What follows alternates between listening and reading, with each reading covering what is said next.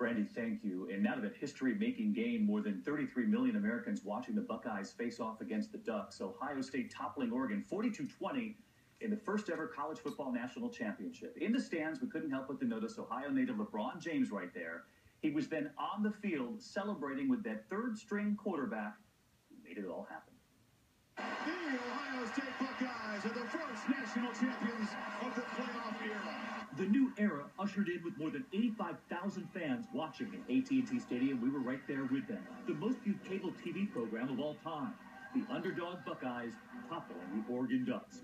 With the third string quarterback who wasn't even supposed to be there. Cardale Jones, so impressive. Oh, what a play. Cardale Jones, the quarterback, only because the team had lost their first two. He didn't even start until the postseason. But there was someone who always knew Cardale could do it. Back home, it was a tough beginning for Cardale in Cleveland, the youngest of six.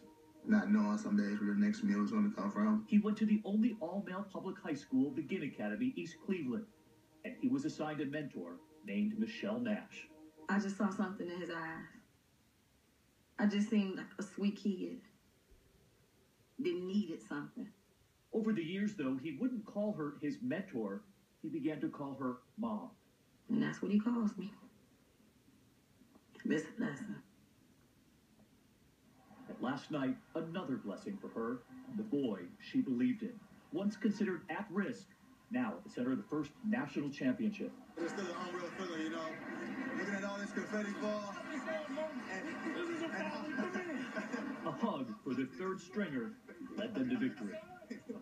What an incredible story. It was great to be there last night. And one more image from the big game. Look at this. His name is Greg Burks, one of the refs there. People studying his face during the game. Did he look familiar to you?